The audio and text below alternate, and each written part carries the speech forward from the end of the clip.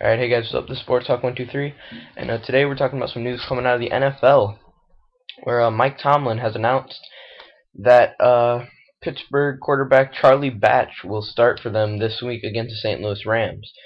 Uh, his decision to start and leave Ben Roethlisberger in for uh, the whole Monday Night Football game last week against the 49ers was highly scrutinized. A lot of people criticized him about it. And uh, while he said that Ben Roethlisberger didn't get hurt uh, any further in that game against the 49ers, uh, the 49ers are obviously a lot better than the St. Louis Rams.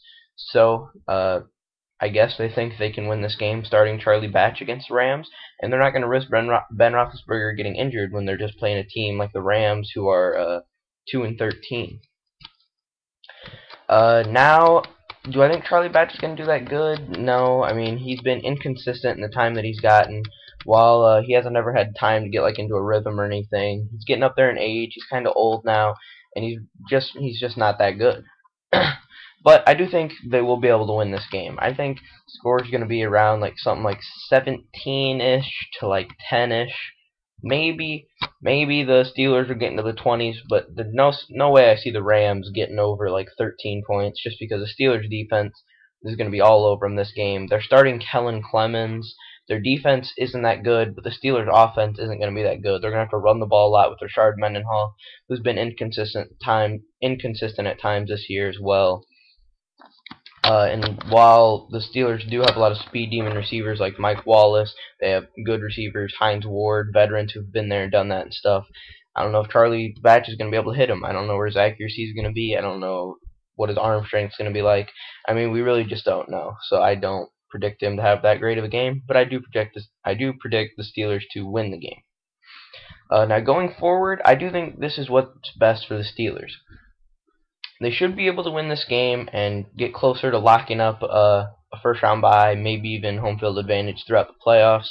Who knows? I mean, it all depends on what the Patriots do and uh, what they do the next week and what the Patriots do next week. And uh, Texans are pretty much out of it, so it's pretty much just a two-team race at this point between the uh, Patriots and Steelers for uh, home field advantage for the number one seed in AFC.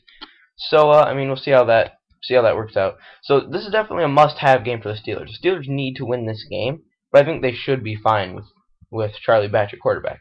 But if they do happen to lose those Rams, I think that's a huge hit for their team, and I don't really think they can afford another loss at this point. I think they need to go out and win this game. So just because they're playing the Rams doesn't mean they can slack, but I think they should be able to get by the Rams even just with Charlie Batch at quarterback. But yeah, like I was saying, in the long term, I do think this is what's best. They need to get Ben Roethlisberger healed up and ready. Uh, they can't have him looking like they looked. Uh, they can't have him looking like he looked last week against 49ers. He can't look like that in the playoffs uh, before your playoff game, he has to at least be able to walk around and move in the pocket and make some plays outside the pocket. Because against 49ers, before the game, he couldn't even walk or do anything. So, I mean, he's definitely not going to be able to compete against playoff caliber defenses in the shape he was in last week. So, alright guys, that's it for today. Thanks a lot. See you.